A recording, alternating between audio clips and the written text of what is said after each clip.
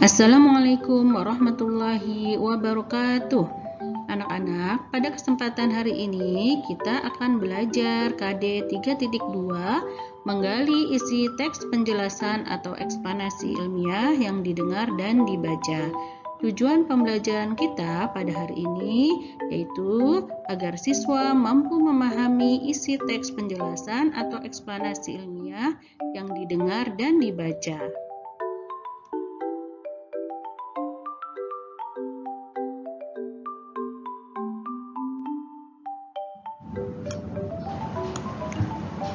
Apakah itu teks eksplanasi?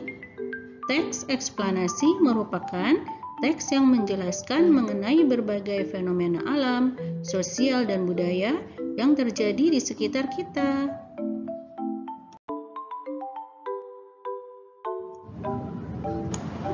Struktur dari teks eksplanasi adalah sebagai berikut. Yang pertama, pernyataan umum. Kedua, deretan penjelas. Ketiga, interpretasi.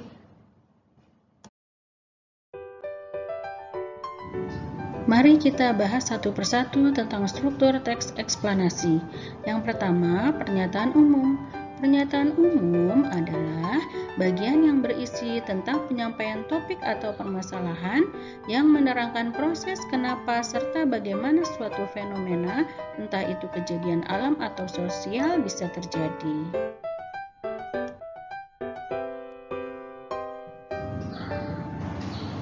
Yang kedua adalah deretan penjelas. Deretan penjelas adalah bagian yang isinya tentang urutan proses terjadinya sebuah fenomena berdasarkan urutan waktu atau urutan proses. Ketiga, interpretasi. Interpretasi adalah bagian penutup yang pada umumnya berisi mengenai penegasan atau kesimpulan dari struktur-struktur di atas.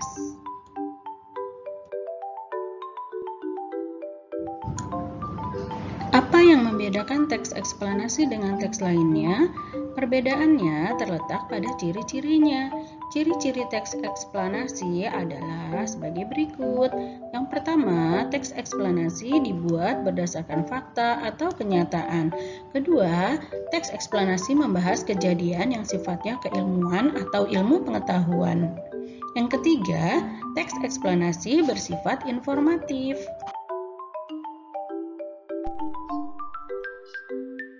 Selanjutnya, menyajikan informasi penting teks eksplanasi dalam bentuk peta pikiran. Penggunaan peta pikiran dalam menuliskan informasi dari teks eksplanasi dapat memudahkanmu untuk memahami isi teks. Hal-hal yang perlu dilakukan untuk membuat peta pikiran yaitu membaca atau mendengarkan teks eksplanasi secara keseluruhan, menentukan ide pokok dari setiap paragraf dalam teks tersebut, mengambil kata kunci dari ide pokok yang telah ditentukan dan menuliskan kata kunci tersebut ke dalam peta pikiran.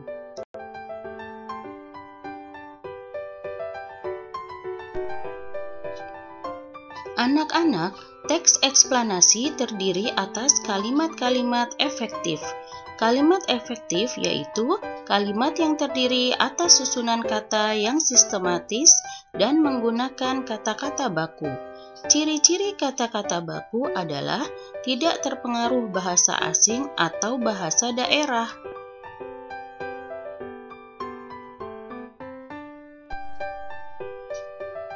Dalam kalimat efektif terdapat kata-kata baku yang disusun secara sistematis.